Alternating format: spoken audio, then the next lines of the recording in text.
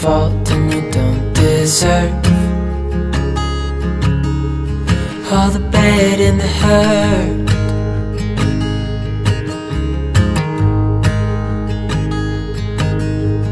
Mm. I know you tried so hard. Mm. I Buongiorno ragazzi, stamattina ci siamo svegliati. Nel mezzo nella nebbia qui al Podere Valle Scura, guardate qua che bellezza, non so se renderà il filmato ma siamo proprio nel mezzo di una mattinata molto nebbiosa, ieri il tempo non era molto bello ma oggi si prevede una giornata di sole e la nebbia è sicuramente un buon preavviso per capire che poi sarà una giornata soleggiata. Allora, in pratica ieri abbiamo parlato con Simona e Simone, che sono i proprietari di questo bellissimo podere, e ci hanno spiegato come loro si siano voluti isolare un po' dal caos della quotidianità urbana, cercando in questo posto la pace assoluta.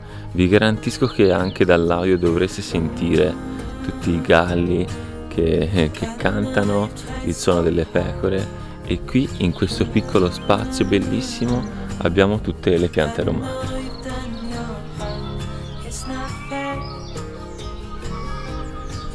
E ora vi porto a vedere le pecore che sono qui vicino, si dovrebbe sentire già il rumore dei campanacci che nel mentre che camminano, ma ve le faccio vedere da vicino. Ne dovrebbero avere circa una trentina, se non erro. Ieri parlando con Simone, il proprietario del podere, ci spiegava eh, quanto sia legato il numero delle pecore anche al numero di finanziamenti, di contributi che la regione dà perché ovviamente mantenere un grosso numero di pecore è molto dispendioso anche economicamente. Ve le faccio vedere, sono qui dietro di me.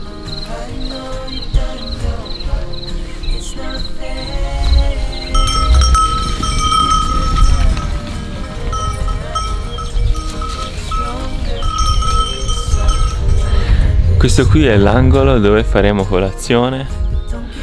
Siamo circondati da fiori, da vegetazione e da tutti i cani che hanno qui al podere che ora spero arriveranno presto per far contenta, per far contenta Francesca che è un amante, mm, li adora diciamo.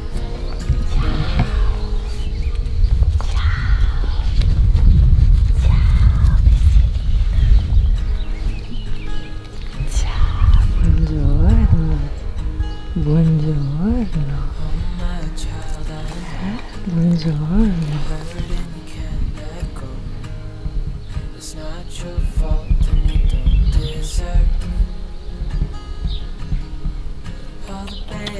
hurt.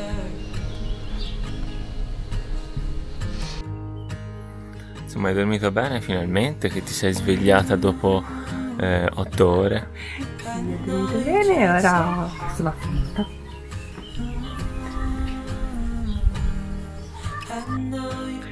Quindi adesso Simona e Simone ci hanno preparato una buonissima colazione qui, proprio nel tavolino davanti i due appartamenti e c'è un'atmosfera bellissima e un'aria freschissima, seppur, seppur siamo a inizio giugno, perché ieri sera il tempo era, insomma, era bruttino, però poi la notte è migliorato, stamattina tanta nebbia, ma adesso il tempo è perfetto.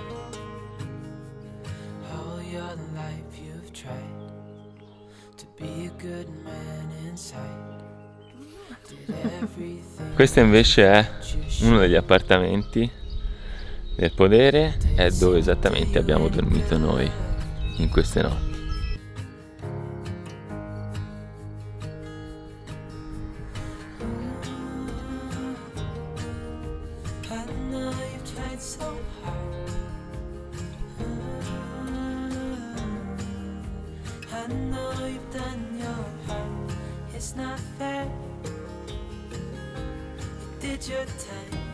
E qui al podere Valle Scura c'è anche la possibilità di accendersi la stufa perché siamo a 600 metri d'altezza e le temperature, specie in primavera ma soprattutto in inverno, possono essere molto basse, quindi è necessario avere una fonte di riscaldamento molto efficiente proprio come questa stufa a legna che abbiamo appena acceso perché la temperatura verso sera inizia ad abbassarsi molto.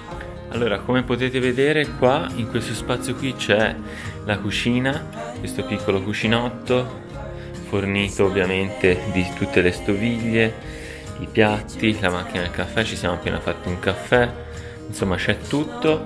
Qui abbiamo altre stoviglie, ok? Con le spezie, l'acqua, le tovaglie, eh, i coltelli, il disinfettante che Simona produce in modo artigianale, eh, sono tutti prodotti a base naturali. Poi qui abbiamo questo bellissimo tavolino con eh, le stoviglie nel cassetto, quel divano là, la poltrona e la stufa di cui vi parlavo poco fa. Veramente utilissima la stufa perché scalda in brevissimo tempo tutto l'ambiente. Qui ci sono le travi di legno nel soffitto quindi la stanza è abbastanza alta però viene veramente scaldata in modo molto veloce da questa stufa a legna che oltre a essere esteticamente bella però anche dà quel mood, quel comfort, quell'atmosfera eh, confortevole a tutto l'ambiente. Ora vi faccio vedere come è disposta la camera da letto. Allora siamo entrati adesso nella camera da letto, come vedete è molto luminosa, ci sono due finestre che danno nella parte esterna che vi permetteranno naturalmente di svegliarvi con la luce del sole. Questa, questa, questa funzione è veramente utilissima perché se lasciate aperti gli scurini la mattina vi svegliate a contatto con la natura, uno perché sentirete naturalmente il suono degli uccellini che cantano, le galline, però ecco, vi sveglierete seguendo eh, i tempi della natura. To be a good man inside Did everything that you thought you should Benvenuti nel nostro piccolo orto. Eh, qui abbiamo una doppia attività, coltivare le verdure per mangiarcele e offrirle agli ospiti e eh, fare l'ombricultura. La fertilità della terra degli Appennini è ben nota, ma è una terra molto compatta, eh, c'è molta argilla sugli Appennini italiani, quindi utilizzare degli ammendanti come il letame e il cosiddetto lombricompost favorisce la crescita delle, di, tutte, di tutti i vegetali. Quindi noi cosa abbiamo fatto?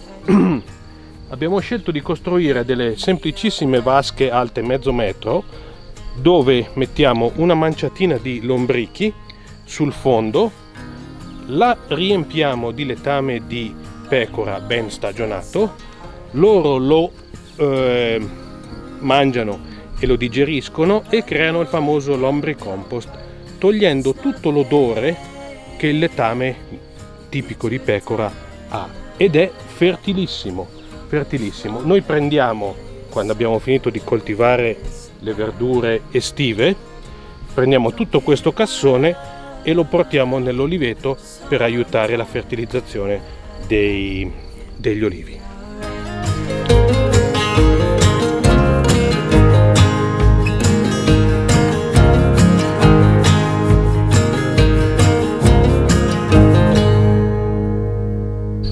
Qui siamo davanti a quello che è il business principale del Podere Valle Scura, cioè l'olivicoltura.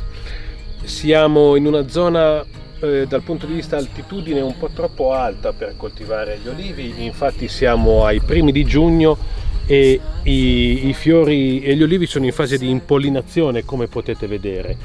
E mentre nelle zone evocate dell'olio d'oliva umbro tipo i colli vicino ad Assisi hanno già eh, stanno già allegando, cioè stanno già, è già cominciato il processo per produrre le olive.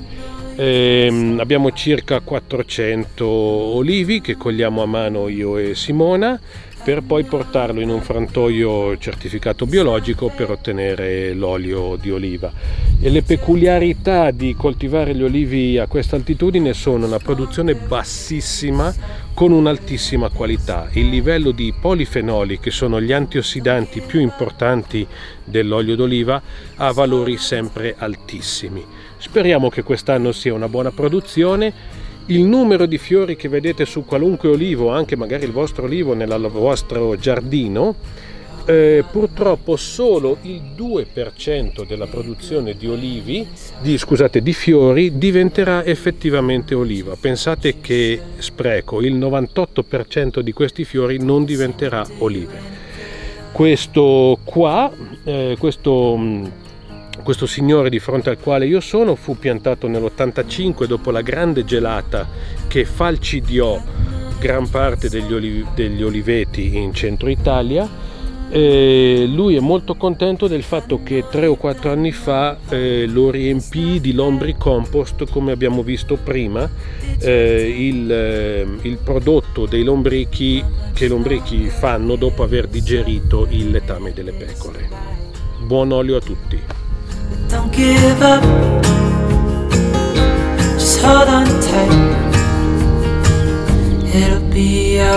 Benvenuti nel pollaio, come dicevamo prima tutta l'azienda agricola è biologica, quest'area verde, eh, quest'area verde è il luogo in cui il pollame va in giro, vi indico il loco paperoga amico degli uomini che si fa il bagno per essere pronto, bello e pulito.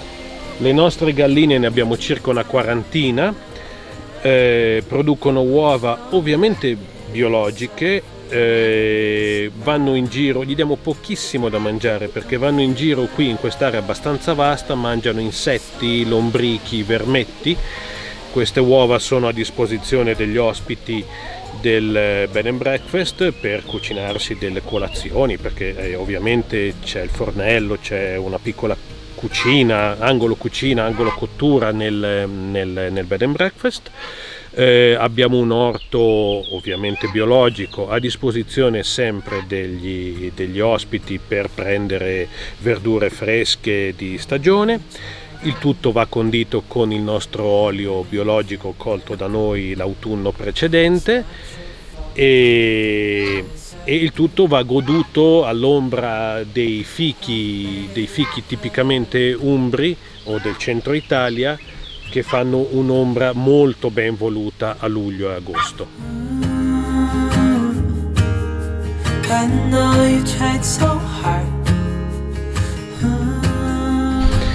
Qui invece siamo nella zona che chiamiamo asilo nido perché qui come vedete abbiamo una gallina che sta covando nella paglia con l'acqua. Sotto di lei ci sono una quindicina di uova. E fra settimana prossima oggi è sabato sabato prossimo nasceranno su 15 uova circa una decina di pulcini. Eh, una decina di pulcini preferiamo la chioccia naturale rispetto all'incubatrice che ovviamente abbiamo un'incubatrice elettrica perché una volta nati ci pensa lei a fare da madre a insegnargli a beccare i lombricchi, gli insetti, a scavare, trovarli, mentre quelli nati diciamo artificialmente dobbiamo farlo noi. Adesso io provo a mettere la mano e lei mi beccherà per difendere le uova. Vedete che già si sta arrabbiando, questa è molto buona, però e lì sotto ci sono le uova caldissime. Durante la cova la gallina alza la temperatura corporea per un discorso ormonale e tiene, e tiene, le uova al caldo. Durante il giorno, quando fa caldo, nelle ore più calde, si alza, va a farsi un giretto perché poverina avrà anche le gambe anchilosate, durante la notte non si muove mai. Beve, non mangia ed è un periodo molto stressante che consuma molta energia per la gallina quindi una gallina andrà in cova solo se ben alimentata, una gallina magra difficilmente andrà in cova. Qua abbiamo un pollaio molto selvatico, di conseguenza quasi tutte le nostre galline covano le uova. Non so se si dice cova o cova, fate voi.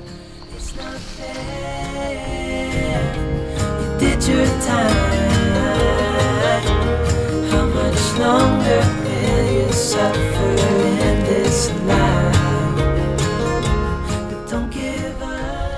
quindi Simone ci parlavi del fatto che qui nel, nel vostro podere fate anche una produzione di oli essenziali di lavanda. Ce ne puoi parlare un po'? Benissimo. Ehm, qui al Podere Vallescura abbiamo anche una piccola produzione di oli essenziali che facciamo in loco. Li facciamo prevalentemente per due motivi. Profumare i saponi che noi produciamo con l'olio di oliva non venduto dell'anno precedente, quindi saponi tipo sapone di Marsiglia e gli oli essenziali hanno il compito di profumare i saponi.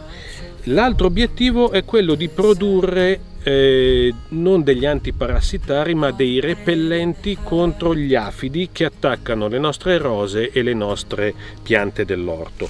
Qui siamo in una piccola sezione di quello che potremmo chiamare lavandetto, ma sarebbe un termine troppo pomposo. Sono dei piccoli filari di lavanda che si colgono d'estate, li cogliamo a mano, adesso qui siamo in fase eh, molto, molto precoce. Eh, noi cogliamo queste piante di lavanda tramite un estrattore, estraiamo l'olio essenziale eh, abbiamo anche parecchie piante di rosmarino che crescono bene nella terra degli Appennini italiani e estraiamo anche l'olio di rosmarino tramite corrente di vapore. Mm, eh, questi sono oli molto ricercati perché sono completamente biologici, mentre sul mercato ci sono molti oli di lavanda e di rosmarino non biologici, quindi sono molto ricercati. Noi non abbiamo una grande produzione, quindi la vendita è molto poca, ma soprattutto noi cerchiamo di usarla in loco, come ho detto prima, come repellenti per gli afidi e eh, repellenti per le zecche sui cani, per esempio, eh, repellenti contro le zanzare d'estate. Certo, l'olio essenziale puro non si può mai usare, va diluito eh, ci sono molti manuali su internet che spiegano come usare gli oli essenziali ma soprattutto li usiamo anche come aromaterapia all'interno del eh, nostro bed and breakfast. I clienti sembrano apprezzare molto.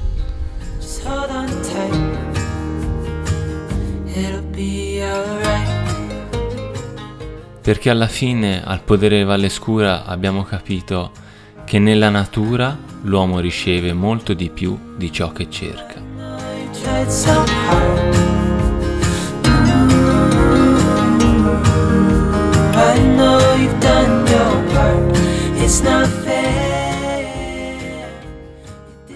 Quindi ragazzi spero che il video vi sia piaciuto, lasciatemi un commento se volete sapere altre informazioni, vi lascerò in descrizione il link a questo podere su Airbnb ci sono tutte le informazioni di cui avete necessità. Spero di rivedervi presto in una nuova avventura e in un nuovo video qua sul canale. A prestissimo!